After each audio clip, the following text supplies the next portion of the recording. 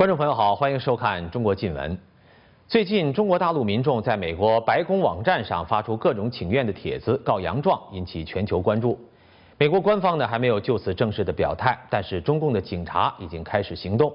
据香港南华早报的报道，在美国白宫的公民请愿网站上发出请愿帖的新浪网友，要求投票反对彭州的石化项目，却被警察请去喝茶。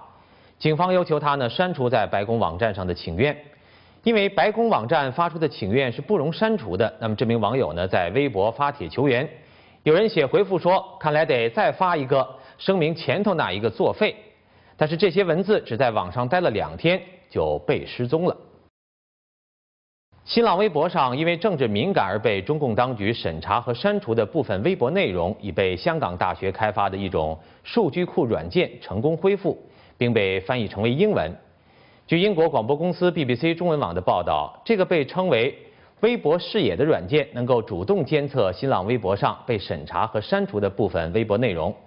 微博视野项目由香港大学新闻及传媒研究中心在2011年启动，并开始研发。至今为止呢，已经恢复了被删除的大约是两亿个微博帖子。由数据新闻专业的学生所组成的研究小组还开发了一个搜索引擎。使被恢复的一些微博在被翻译成英文后可以在线搜索。五月十二号，广东汕尾陆丰市桥冲镇盛德寮村发生枪击案，村长请来一百多个不明身份的人，拿着十几支猎枪血洗村庄，十四名村民被枪击伤，年龄最大的六十六岁，最小的才有十一岁，其中有一名十三岁的孩子，头部、肺部、心脏、颈部和脸上都中枪，生命垂危。还有一名村民的腿上被打中了近三百颗弹珠。